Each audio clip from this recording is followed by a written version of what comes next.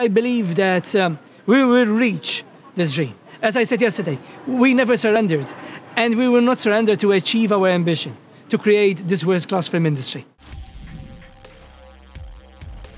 We are here with in beautiful Malta with the Malta Film Commissioner. How are you today, Johann? I'm okay. nice seeing you again. Yes, it's great to see you. And last night, first off, you gave a beautiful speech.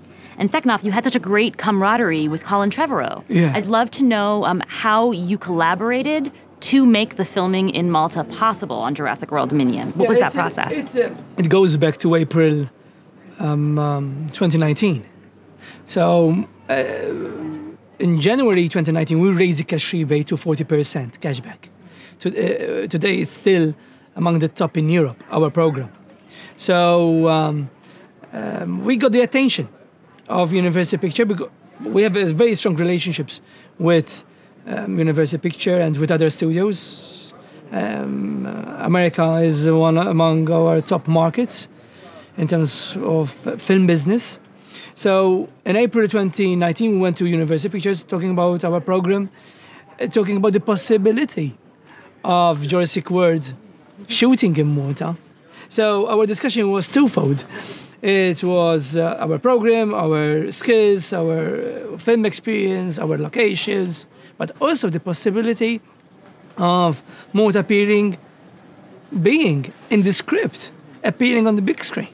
And thanks to Colin, who was looking for an island in the Mediterranean, and he spotted Malta, and he said, you know, we want to go to Malta, and we want to, uh, Malta, we want to be in the script. So we are so proud. I, I, I, I- saw the movie twice already. I enjoyed it both times. and if you ask me if you see it the third time, I will see it the third time yes! for sure. I love that. Um, the pride that brings when you see your country, Malta, a small country in the Mediterranean, a great nation, um, um, 20 minutes of film action with the dinosaurs running in our streets in, Valle- in Birgu, in Valletta. And that's why we are branding our marketing campaigns as the Jurassic Island. because there are dinosaurs here. As there should be. Yeah. yeah. Now, um, you are obviously rightfully proud of your country's history and culture. So, how do you ensure that it is properly presented, or that when you work with an international project, uh, Malta and the Maltese people are shown the way that they should be? As I said yesterday in my speech, we are proud of our history, but not chained to it. And that's why we want to make the next 100 years of experience in filmmaking better than the first 100 years.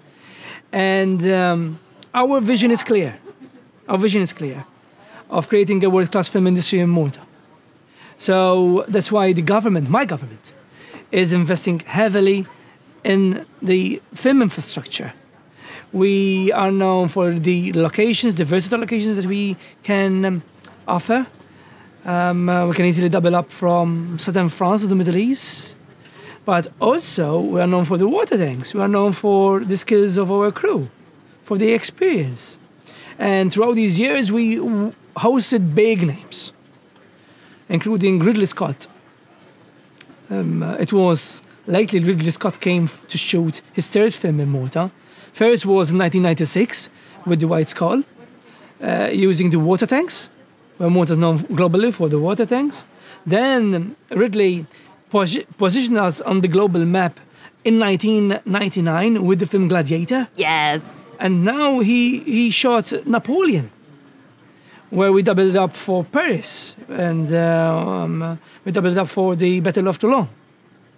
So as as Ridley Scott pos- positioned on the global map, uh, Colin Trevorrow with the film Jurassic World reinforced Malta, and uh, that's why we are so proud and thankful to Colin. That's why we we honored Colin in the our first edition of the Malta Film Awards um, uh, awarding him with the Malta Film Commissioners Award because um, he reinforced Malta. And with, with his cre- creativity and talent, he reinforced Malta on, on the global map. Now that's So we keep on working to make sure that we keep attracting more business to Malta, keep creating jobs, sustainable industry, to create and reach our vision of creating a world-class film industry in Malta. One quick final question. Sure. As an American, I am not that familiar with the Maltese film industry. If you had to select one film that's made by a Maltese person, by Maltese creatives, what would you recommend? We, our, our industry is still, in terms of local indigenous industry, we are still young. We have uh, films which are appearing uh, on the global domain. Um, uh, and uh, we are investing heavily in to ensure that more films reach beyond Malta and be successful. And that's why our vision is to create tomorrow's filmmakers, being the best. And I believe that um, we will reach this dream. As I said yesterday, we never surrendered, and we will not surrender to achieve our ambition to create this world class film industry. Absolutely. I believe it. I know you're going to do it. Thank you so much. Cheers. Thank you. Thank you.